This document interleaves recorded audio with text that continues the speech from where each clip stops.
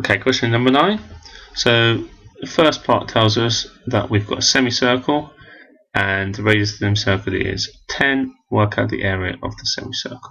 Give your answer to three significant figures.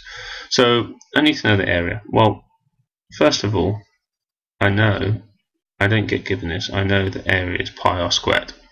So to work out the area, I'm going to do pi times. Well, that's easy because it's already got the radius um, given us a 10 squared and I'm just going to do that straight on my calculator. Um, shifting this button down the bottom you can see just about in yellow above there on your calculator you get the pi times 10 squared set it all up and it says 100 pi but I want to write it out as the full thing so that's 314.1592654 and so on so therefore, I know that the semicircle, that's the area of the circle, is just that answer divided by 2. It gives us 50 pi, it's obvious. Um, 157.079632. That's all fine, but it does say to three significant figures here. So I'm going to go ahead, first three digits, 157. There we go, that's my area. Second one asks us to work out the perimeter of the semicircle.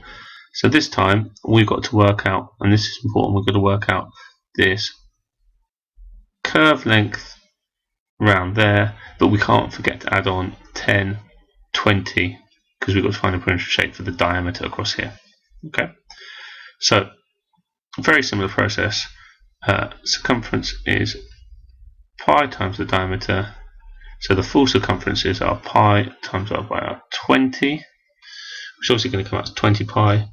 Um, if you want it as a number, because I've chosen 20, not 10, because I wanted chosen 20, not 10, because the 10 is only the radius here, and I want the full length across which gives us 20 pi, which is equal to 6 62.83185307. That's the circumference of the whole shape. I want, and I'm explaining what I'm doing here, making it really obvious, I want the perimeter, which is my answer divided by 2 plus on my 20 for the diameter. So then easily on my calculator I can just go answer divided by 2 plus by 20 which gives me 51 point 51 I'm going to write the whole thing out. 51 point. You can see it on my calculator and your display.